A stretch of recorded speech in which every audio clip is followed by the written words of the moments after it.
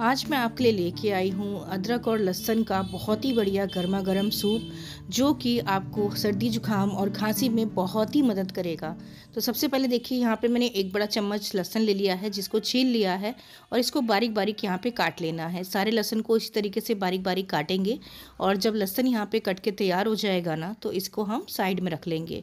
मुश्किल से ये जो वीडियो है ना, वो मुश्किल से पाँच मिनट में बन जाएगी। हमारी रेसिपी भी और वीडियो भी बहुत छोटी है तो ये सूप बनाने में आपको बिल्कुल भी टाइम नहीं लगने वाला है। अगर आप सारी चॉपिंग पहले से करके रखेंगे। देखिए, लहसन तो यहाँ पे कट गया है। अब यहाँ पे मैंने एक इंच का अदरक लिया है। इसको भी हम यहाँ पे बारीक बारीक काट लेंगे। तो सारी जो भी चीज़ें मैं ले रही हूँ ना, वो बारीक बारीक ही काटनी है। तो यहाँ अदरक भी देखिए, मैंने एकदम बारीक बारीक काट लिया है।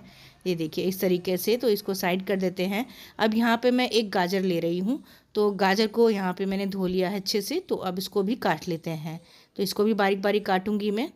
तो यहाँ पे मैं ज़्यादा सब्ज़ियाँ इसमें नहीं डालने वाली हूँ, नहीं तो अदरक और लहसुन का फ्लेवर जो है ना, वो चला जाएगा। अगर आप मिक्स वेज सूप देखना चाहते हैं तो वो भी मेरे चैनल पे है, आप वहाँ पे जाके सर्च करके देख सकते हैं। तो यहाँ पे देखिए, सारी जो है गाजर मैंने एक गाजर काट ली एकदम बारीक बारीक अब यहाँ पे मैं ले रही हूँ बंद गोभी, यानी पत्ता गोभी। इसे भी हम बारीक बारीक ही काटेंगे। तो यहाँ पे मैं देखिए, इसको भी बारीक बारीक काट लेती हूँ। बहुत कम सब्जियों का यूज़ कर रही हूँ, क्योंकि फ्लेवर जो अदरक, लहसन का मेन है ना, वो जाना नहीं चाहिए। अब यहाँ पे देखिए, पाँच बीन्स ली है मैंने। इसको भी बारीक बारीक काट लेना है। सारी सब्ज़ियाँ यहाँ पे कट के तैयार हो जाएँगी। देखिए यहाँ पे तैयार हैं। तो इसके बाद एक कढ़ाई में मैं एक छोटा चम्मच तेल का डालूँगी। उसके बाद यहाँ पे जो लहसन हमने बारीक बारीक काटा है ना, वो डाल देंगे और थोड़ा सा इसको भुनेंगे।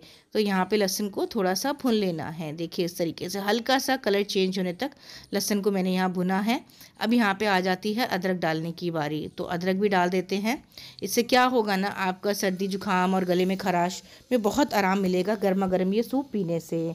तो इसे आप ज़रूर बनाइएगा और बहुत जल्दी बन के तैयार भी होता है। अब इसमें हम बाकी की सारी चीज़ें डाल देंगे, जैसे कि गाजर था और बीन्स थी, वो भी अब इसमें हम डाल देंगे।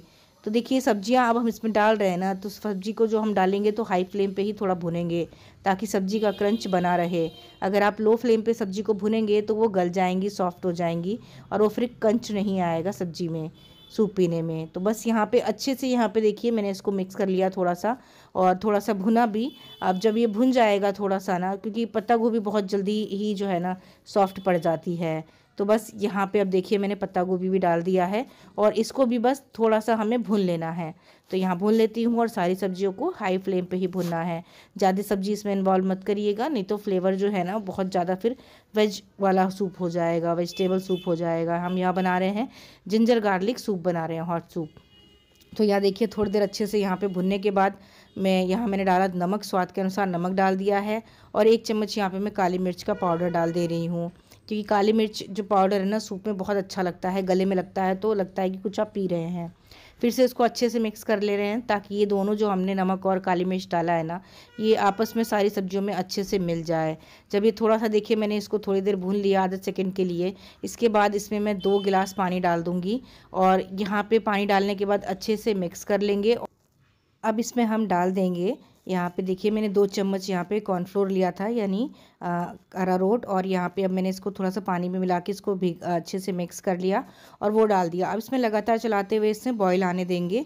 तो देखिए बॉईल आ गया है और यहाँ पे इसको थोड़ा पकाना है ताकि ये गाढ़ा हो जाए। तो देखिए कॉर्नफ्लोर आप जैसे डालेंगे ना, वैसे ये गाढ़ा होना शुरू हो जाएगा।